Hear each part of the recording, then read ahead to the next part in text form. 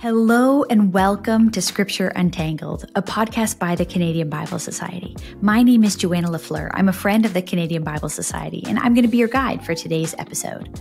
On this episode, we're hearing from recording artist and musician Mike Janzen, interviewed by seasoned journalist Lorna Dueck. And we're also going to hear some of his latest music based on the Psalms. So you're going to love this content. Let me tell you a little bit more about Mike Janzen if you don't know him.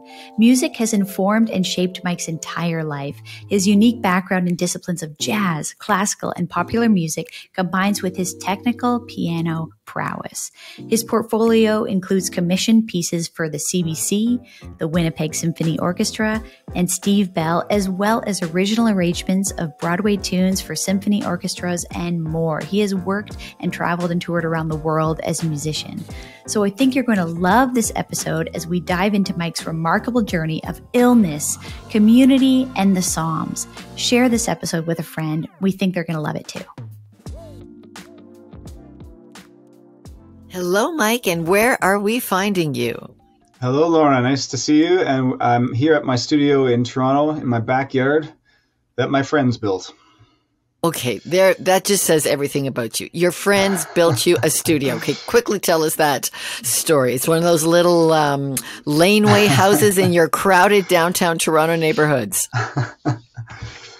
That's right. Yeah, we live in the uh, east side beaches or north north beaches um, which just means you can eventually get to the lake if you start driving. And uh, so I have, I had this idea of starting a, a studio in my backyard, so I wouldn't, you know, have to go further away and commute.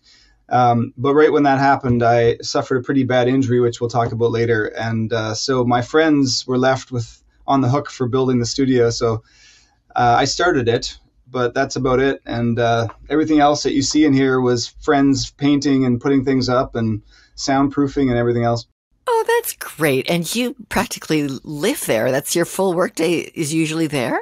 Yeah, every day I have about 20 steps to my work and I spend time in here writing and listening to music and composing stuff and yeah, it's it's got a big grand piano right beside me and uh, so it's a really great space.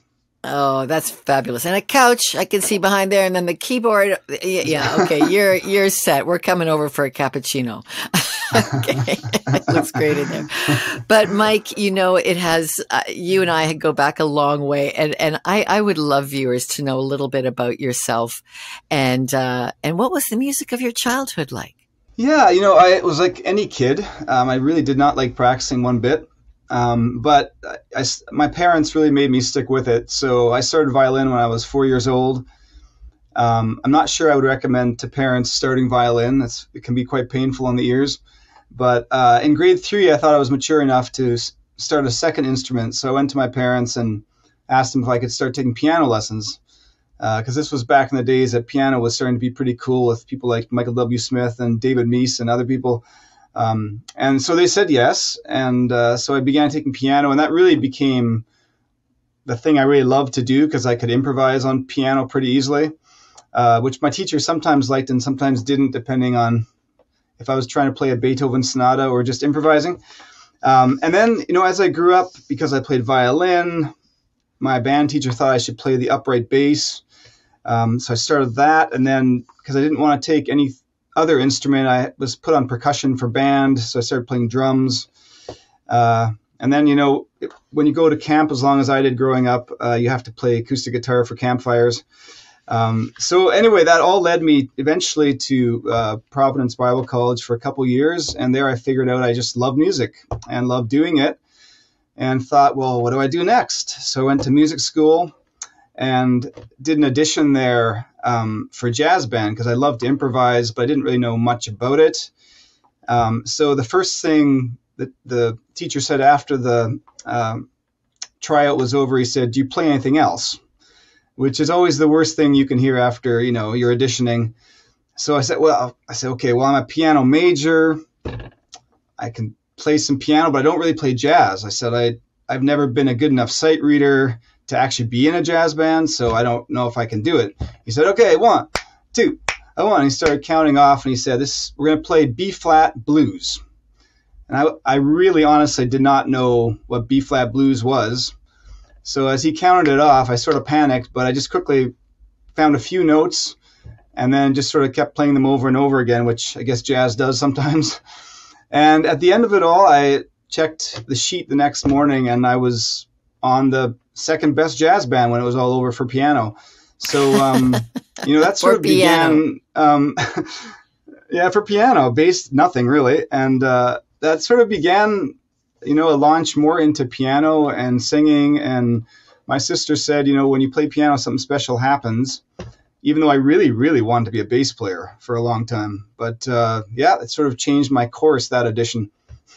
Wow. And your sister said something special happens. That's, I think, a great compliment because family hears us in all the corners of the of the trial, right?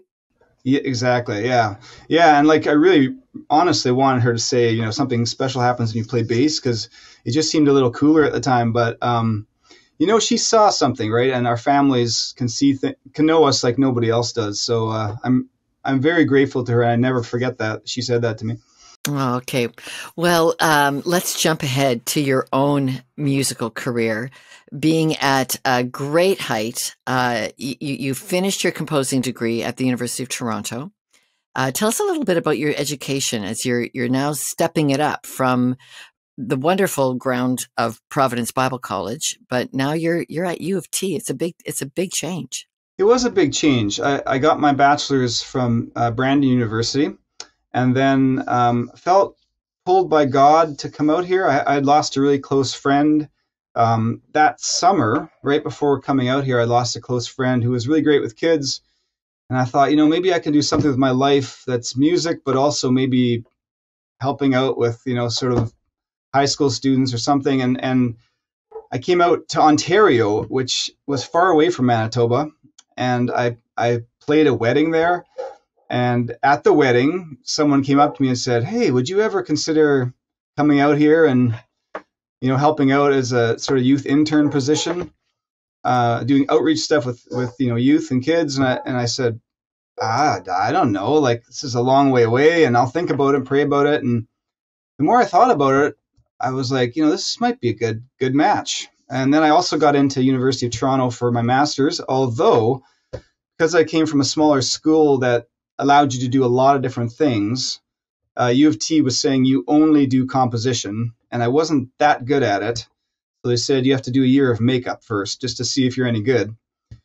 So I thought, well, I could maybe do this youth pastor intern position while also going to University of Toronto. And that's Lorna when I showed up at your front door asking if I could stay at your house for a month or two because I, I really had nowhere to live when I got there. I know. It was such a lovely story. I should tell our viewers just a bit because now we have a housing crisis in Southern Ontario. But back then, it was just normal that, you know, you had to apply to get into somebody's place to rent. And we just laughed that you were coming in from this little town of Steinbach and thinking you could show up and just find a place to live. Good thing, good thing we were there. we had a great time, and I'll good always thing remember. you were there. I mean, that was a. I was quite scared there for for a second. Well, it's a big change coming from Steinbach, Manitoba. Yeah. And, and there you were in our, in our basement. This is what basements are for. And we had never seen keyboard music. You know, you'd have your headphone on and you'd be playing your heart out and practicing and, and, and you were like way ahead of the game. Anyway, long story short, your, your musical career just takes off. Like it just grows in a beautiful way. But let's go in my mind, you were right at the height of your career. Your calendar is packed. You have two toddler daughters busy in Toronto, and you get stopped in your tracks with a concussion. Tell us what happened. Right, and and you know I had some big plans in those days. I was doing a lot of uh, orchestra shows uh, with a great singer named Sarah Slean, and it looked like we were just things were just sort of exploding there. And uh, some radio ideas I had going on for jazz and other things, and I was really excited with that. And actually, we had only one daughter, and our second one was on the way. We had just found out that we were pregnant uh, when all this hit. Um, so it was a very exciting time. We had two miscarriages that were really, really sort of crushing over the years previous. Um, so this was like big, big news at the time, and so life was exploding in a good way in every way.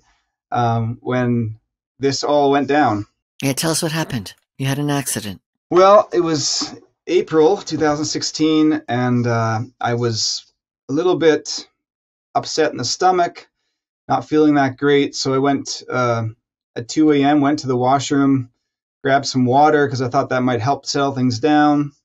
Uh, took two swallows of water. On the second one, everything went black, and I stumbled sort of away from the sink and I crashed into the side of the bathroom wall and then went face forward right with my face into a tile floor in the basement where we were living. And uh, I was knocked out cold. Um, and the next thing I remember was uh, my wife Jody came beside me and sort of woke me up and said, "Are you okay? What like what happened?" And I said, "I I, I don't know what happened. I, I've never passed out before." I said, "I I have no idea what just happened." And she said, "Were you okay? Like, should we go to the hospital?" And I said, "I, think I'm I think I'm fine." And so I sort of stumbled back to bed, like you know, I was sore, but could still move and everything. And and then the next morning, I woke up and I looked outside, and everything looked a little blurry. And then I looked at my messages on the computer, and everything didn't look quite right, and sort of upset my eyes. And then I started talking to people, and it didn't sound right, and thought something's off here. And I thought, let's phone one of my friends who's had lots of concussions and see what she has to say. And she said, I think you have a concussion. Like it sounds sounds exactly like that. So just take a few days off. Um, you should be fine, maybe a week or two at the most. And I was like, no, no, no, no. Like I can't handle a couple of weeks off here. Like I have a whole bunch of gigs coming up and things I've got to get ready for. And as you know, if you're self-employed, you don't have a benefits program, so you know to keep the house being paid for and groceries on the table, you have to keep working. And uh, so I started to panic a bit, and I thought I, am not quite sure what I'm going to do. And she said, "Well, just just take it easy. It, it, it, things will come back, and it should be over pretty fast." But as the weeks kept going, and it turned into about a month, and I was feeling worse and worse. Um, I couldn't really go for walks anymore without getting tremendously dizzy. Um, I was stuck in the basement almost the whole time. I tried to come up, and you know, people always said to me like, "One day you're just going to get better. You're going to wake up, you're going to shake it off. The world will look right again, and you're better." So I kept thinking that, and I remember one day, about a month in, I woke up and I felt actually quite good, and I thought, "It, I think it's over." And so I said to, to Jody, I said, "Let's go for a walk," and the only place we could think of going was the bank, which was about five minutes away.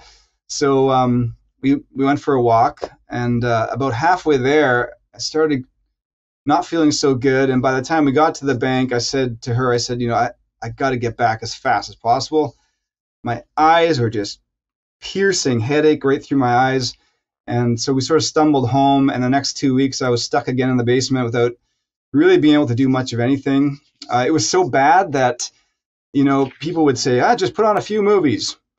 And I mean, I could not watch any screens. I couldn't look at any emails. I couldn't talk to people. I mean, I literally was stuck in the basement in the dark and I couldn't even put the Blue Jays game on to sort of listen to a few innings, right? I was just sort of stuck down there. The pain of a concussion is is very debilitating. People may not realize a fall can cause that kind of concussion pain. This isn't a broken bone. This is a rattled brain. Right. And a lot of people, the symptoms are so different from person to person. Um, you know, some people literally have piercing headaches all day long. Um, for me, it was actually nausea, um, dizziness, um, and just the brain would literally freak out anytime there was noise. Um, so much so that I just actually couldn't move. I just had to sort of stay still.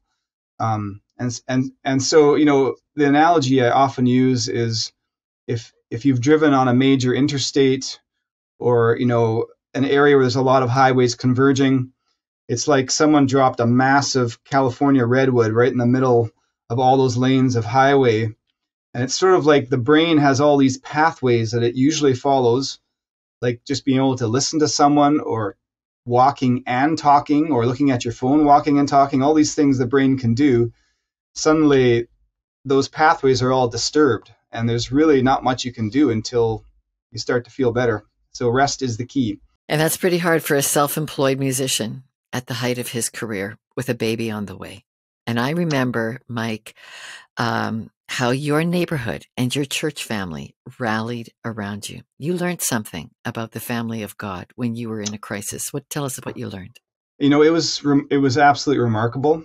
Um, you know, early on, three or four weeks in, I had to cancel these gigs, and uh, a bunch of musician friends, uh, Jacob Moon, Steve Bell, Kevin Lowton, a whole bunch of people um, started rallying around me. Uh, Steve sent out an email to a whole bunch of people saying, "Hey, Mike's unable to do much. Um, he probably will need some money over the next few months. He's not doing so well. Can you help out?" And a whole bunch of money came in from that. Um, I had friends who were playing gigs for me, um, and then sending me the money after, which was pretty pretty amazing. Um, and then you know our church was everything you hope a church could be. You know, um, I remember one time looking down the street and there was a lineup of cars dropping off food.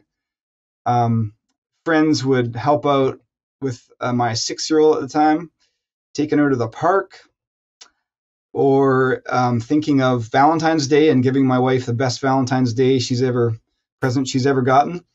Um, they were just literally thinking of everything. My my parents would come over and sort of take care of us for three weeks.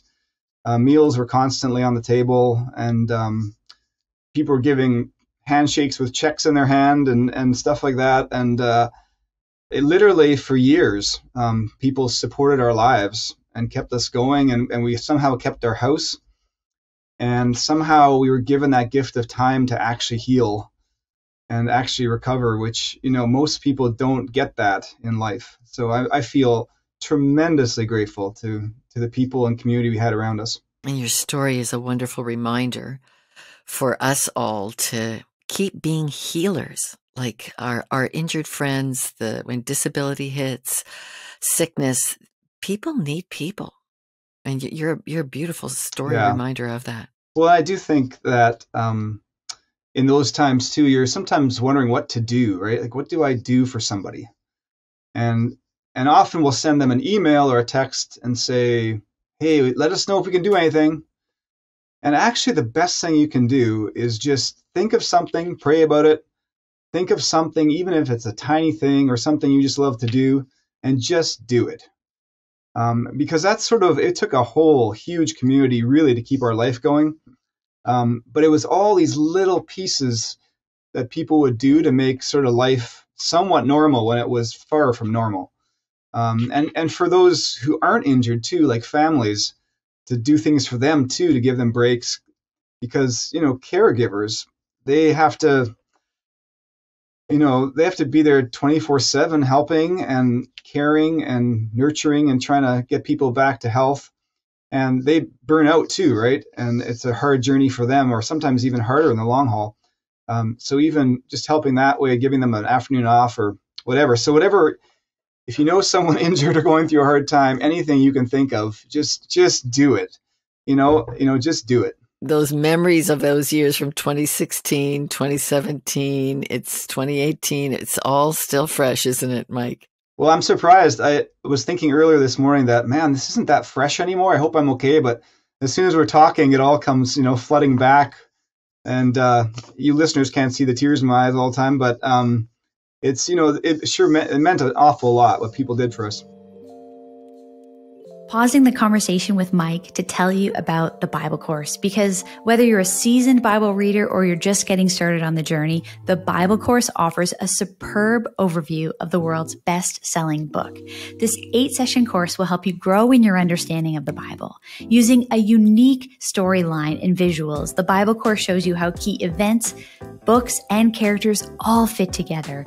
It's great for in person groups or digital gatherings. It really can be used anywhere. You can watch the first session for free and review the accompanying course guide. Go to BibleCourse.ca to learn more. BibleCourse.ca. Now back to the conversation with Mike Janzen. Beautiful, beautiful reminder for us to give the gift of kindness when we can. Uh, but I, I do want to talk about one specific gift that came to you in that time of sickness. And that was now, my understanding is that in that painful, long recovery, no music, you you couldn't even really read well but a friend challenged you to just take one or two lines of the Psalms, the book of Psalms. Tell us about your relationship that begins to develop with the Bible's book of Psalms. Well, my friend Keith Martin took me out actually for sushi a few months before my injury and really passionately described how important the Psalms are. And he just said, Mike, the Psalms, they're so, so important in today's world. Like, we, we're desperate for these honest, raw prayers before God. Mike, would you ever have time to, you know, work on some music and put the Psalms to music? I'd love to be a part of it. Like, would you ever do that? And in my mind, I was thinking, boy, it sounds like a good idea, but I don't think I'm going to have time. Um, so I sm- politely smiled. But once this injury happened, um, I suddenly was in the dark with nothing but time.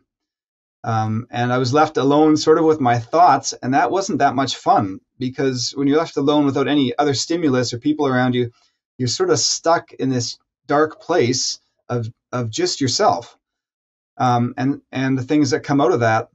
Um, and I was desperate. Um, I, I didn't know how to pray when I couldn't really even concentrate for more than a few seconds. Um, and so I reached out to the Psalms and um, just started with a couple of verses. I had my my phone, my Bible app, and I squinted with one eye, opened the other one, and just for as few seconds as I could, I tried to find a verse that would somehow lift me or encourage me or something I could sing in my head or hum in my head or breathe.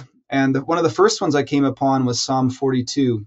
And there's a lovely little verse in there uh, that I found that says, By day the Lord directs his love, at night his song is with me.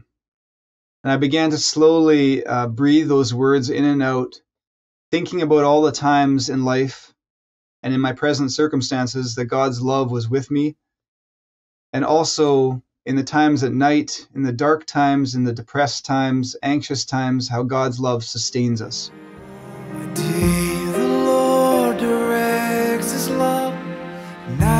Song is with me. Day the Lord directs his love, night song is with me. I'm sure our listeners can hear as as I do the deep heart that is in that wonderful recovery of your Psalm 42. But you you have different moods that you seem to go through. It, it, it starts to build as you interact with the Psalms. Uh, tell us about I Wake, Psalm 3 and Psalm 24. Yeah, I Wake uh, was was a psalm. You know, Psalm 3 is near the beginning of the Psalms, and it's a beautiful song of of sustaining us through through difficult things. And so often in our faith and in our life, we're trained or we learn that we need to give God something and to be feeling good about ourselves or or sort of the things we're involved with and the prayers we're able to pray and and and by through that somehow feel that God's affection is on us. But actually, you know, God sustains us when we can't do anything. And for me, there was a point where I really had to let go of my career or of the realization that I just might not do music again, which was very painful, uh, or be with people doing music again. I didn't really know at that point. Um, but I did know that regardless of what would happen in my life, um, that Jesus the shepherd would sustain me somehow through it. There's there's some beautiful verses um, in the Bible that say that He's near the brokenhearted, and so I I really really felt the closeness of Jesus during these days, where you know they were filled with a lot of resting on a couch or or bed, um, but I really felt God's pleasure um, on on me during these days. I I'm thinking of He remembers me, Psalm 105, Psalm 105 on your Psalms recording. Is that what's going on there? Totally, yeah, it, it is what's going on there. Uh, you know, I think there's a real tendency in our hard seasons that we feel forgotten or abandoned or forsaken. Uh, and there's something very, very special about being remembered, right? um, that that somehow mysteriously God walks through these hard things with us that that Jesus has walked through these hard things in life and continues to, by his Spirit, walk with us through these things.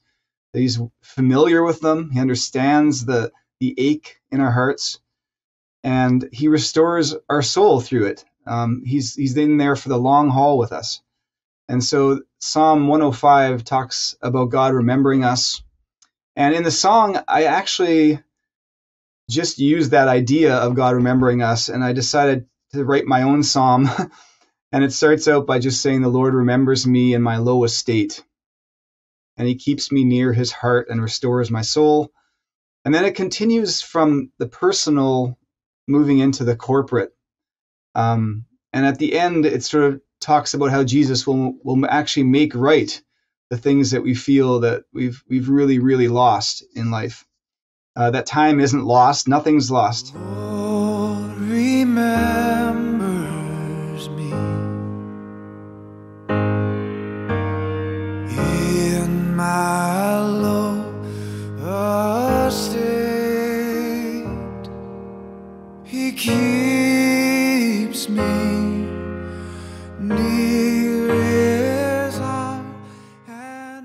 So, Mike, out of that very solitary experience of you recovering, of little bits of the Psalms coming back, blossoming into these beautiful Psalms, you take that very solitary experience of recovery and you begin to dream of organizing a retreat of friends to sing the Psalms, to sing these ideas that your isolation had given you. Tell us about that. Well, you know, it was, I, I don't quite know where the idea came from. I, I really should have, you know, I couldn't really hang out with people when this idea came to me, but I just felt really strongly that somehow these songs had to be sung with others. And the first thing we did was we gathered a few friends together at my house, and they sort of listened to the Psalms, and the night went pretty well. So I figured, well, let's try a whole weekend of doing this. We'll, we'll record some video. I'll pull together sort of a whole bunch of people who know my journey and the hard things that we've been going through, but also are musicians or artists. Not necessarily professional, but definitely had, had big, big hearts, both for us, but for God especially. And so we met at this lovely little retreat center called the Abbey uh, near Guelph, Ontario. And it's this old barn that got turned into this beautiful, almost like concert space. And so we all gathered there, and my wife decided to do the food, which was amazing. And we started to play. The very first song we launched into was uh, Abounding in Love, which was out of Psalm 86. And my first thought was, oh no, what have I done? Because I actually couldn't hang out with people at this point for more than about an hour, hour and a half. And I had invited a whole bunch of my favorite people to hang out with us for almost two days without really any breaks and the whole time recording music. And so we launched into this faith journey um, of, you know, singing and recording these songs. But as soon as my friends, the choir, joined these songs, I mean, it was an extremely moving experience.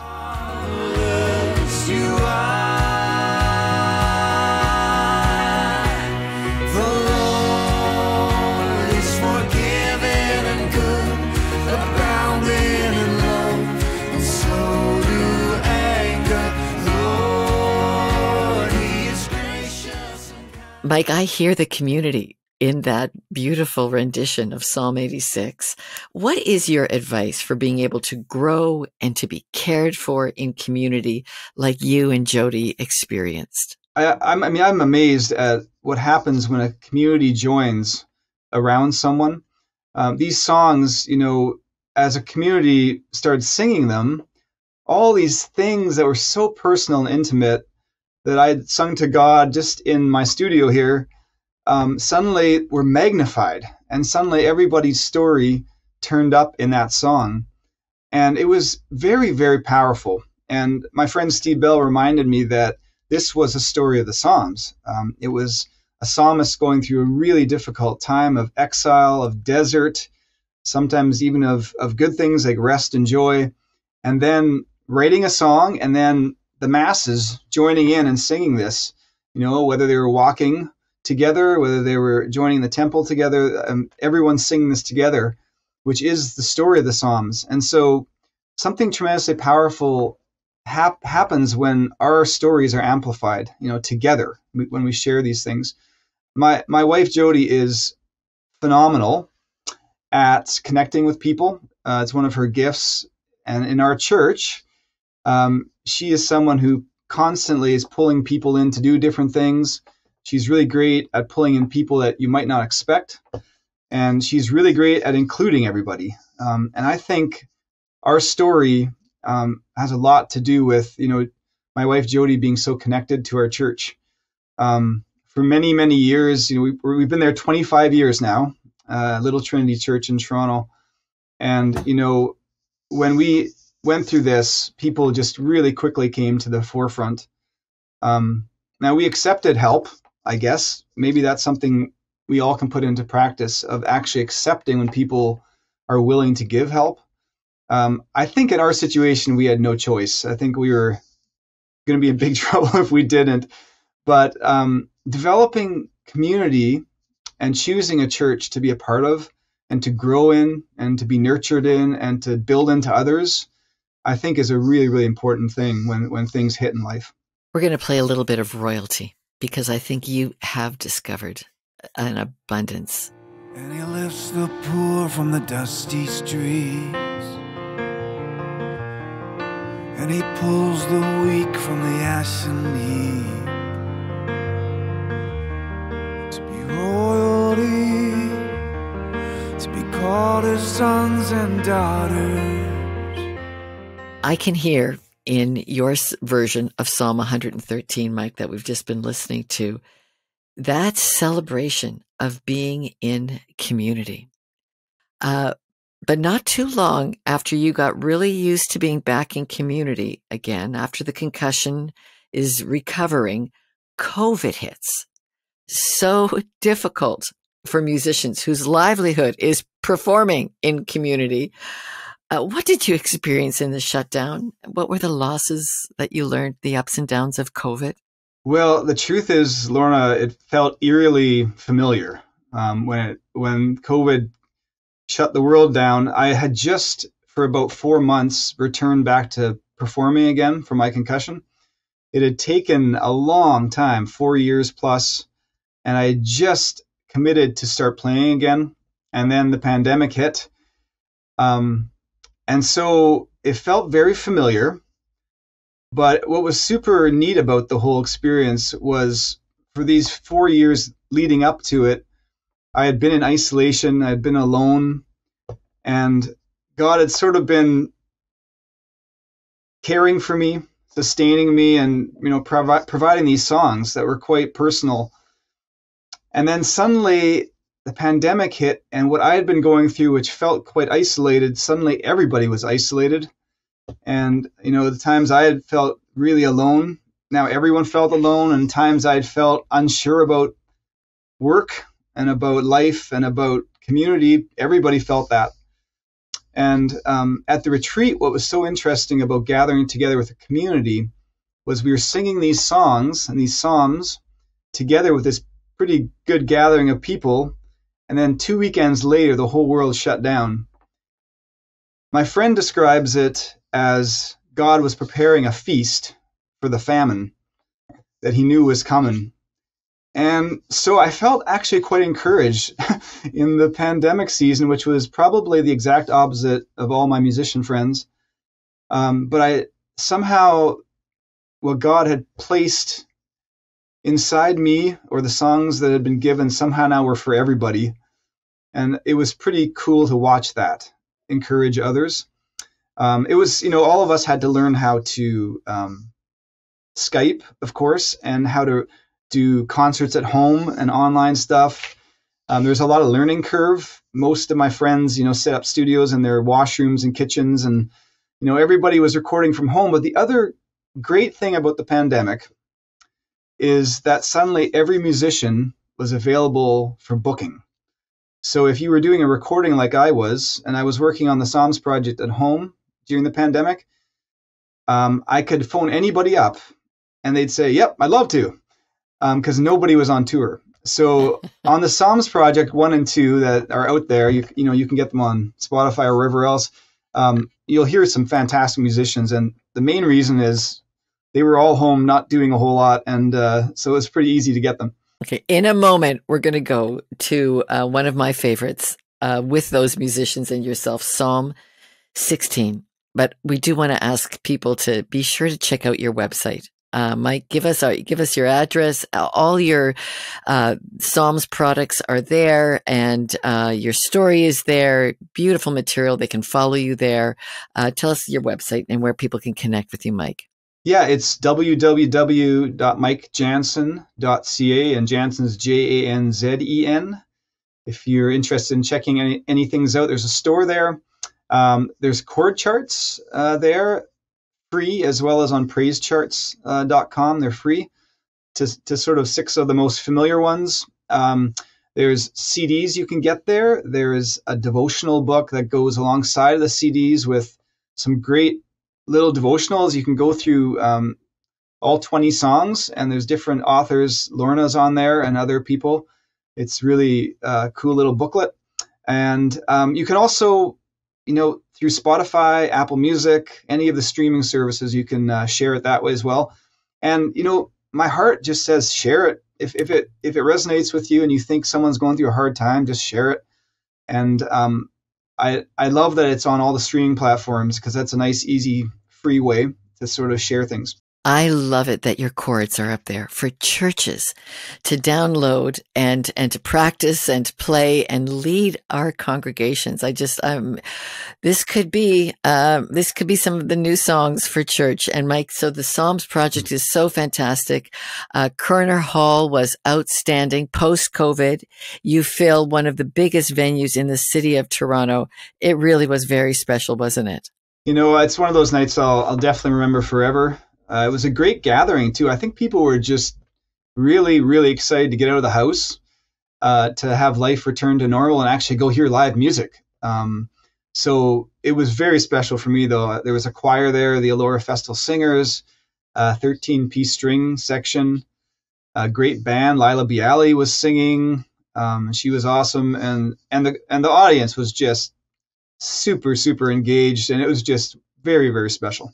All right. Okay. We're going to conclude with Psalm 16. It overflows. It overflows. Mike, thank you for sharing with us, for uh, reminding us all that the Psalms are a treasure that God has for us to discover. Thank you.